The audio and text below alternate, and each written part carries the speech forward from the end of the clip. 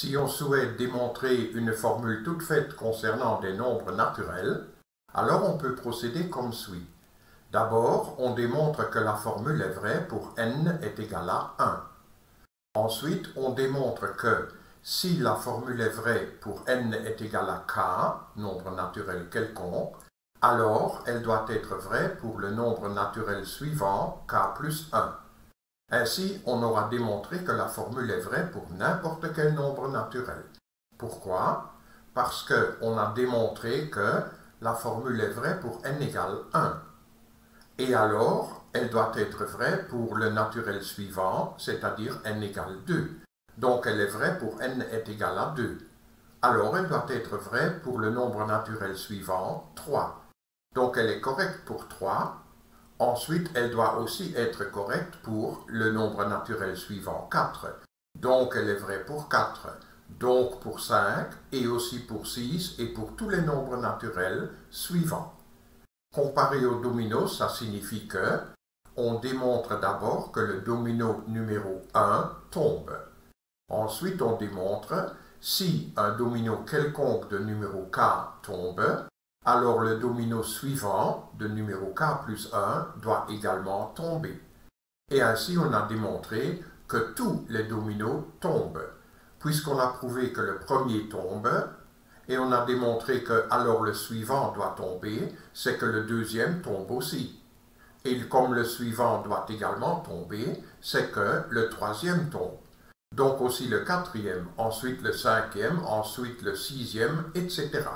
Donc de proche en proche, tous les dominos tombent et la formule est ainsi démontrée pour n'importe quel nombre naturel n. Nous allons appliquer ce procédé appelé démonstration par récurrence pour démontrer cette formule-là, formule qui n'a de sens que lorsque n est plus grand ou égal à 2. Pourquoi? Parce que la valeur finale de l'indice du produit doit être plus grande ou égale à la valeur initiale de l'indice du produit. Cette formule-là, nous allons l'écrire en détail comme ceci. Attention, il s'agit bien du produit de tous ces facteurs, d'où ce pi majuscule. Lorsque j est égal à 2, le facteur donne 1 moins 2 sur 2 fois 2 plus 1, facteur qui est écrit là. Ensuite, j devient 3.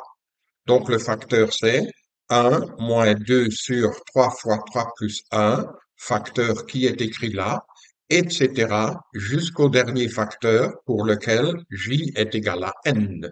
Ce dernier facteur est alors 1 moins 2 sur n fois n plus 1, comme ceci. Démontrons d'abord la formule pour n est égal à 2.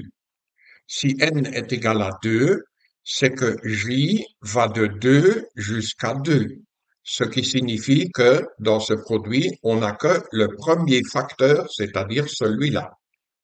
Le voilà. Et apparemment, ce premier facteur est égal à 1 tiers fois 1 plus 2 sur 2. Cette égalité est vraie si et seulement si 1 moins 1 tiers, c'est-à-dire 2 tiers, 2 tiers, est égal à 1 tiers fois 2. Donc cette égalité est vraie si et seulement si 2 tiers est égal à 2 tiers, ce qui est évident. Donc on a déjà démontré cette formule-là pour n est égal à 2. Nous la supposons correcte pour n est égal à k, et à partir de cette hypothèse de récurrence, nous allons démontrer que la formule est également vraie pour n est égal à k plus 1. Donc ici, le produit, c'est pour l'indice J allant de 2 jusqu'à K plus 1. Et nous souhaitons démontrer que ce produit est égal à 1 tiers fois 1 plus 2 sur K plus 1. Pour cela, nous considérons le produit comme ceci. C'est le produit de tous ces facteurs pour J allant de 2 jusqu'à K fois le dernier facteur lorsque j est égal à k plus 1. Donc comme ceci.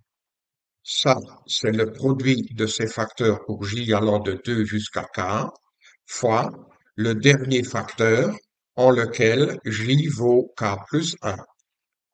Par récurrence, nous savons que le produit de ces facteurs pour j allant de 2 jusqu'à k, c'est-à-dire ce produit-là, est égal à 1 tiers fois ces parenthèses.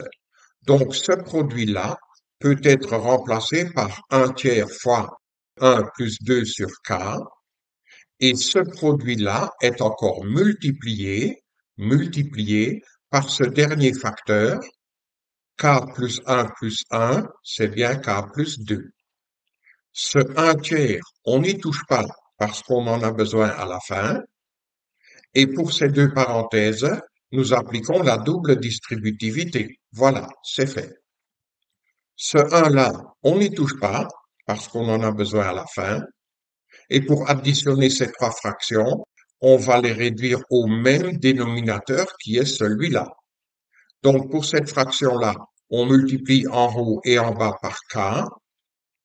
Pour cette fraction-là, on multiplie en haut et en bas par k plus 1 fois k plus 2, comme ceci. Et pour cette fraction-là, elle est déjà au dénominateur commun k fois k plus 1 fois k plus 2. Additionnons donc ces trois fractions-là. Hop, c'est fait.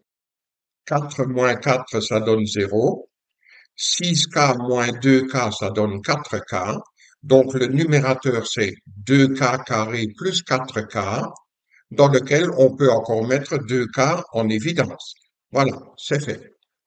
Ensuite, on peut simplifier cette fraction, d'abord par K, ensuite par K plus 2, et il reste alors comme fraction 2 sur K plus 1.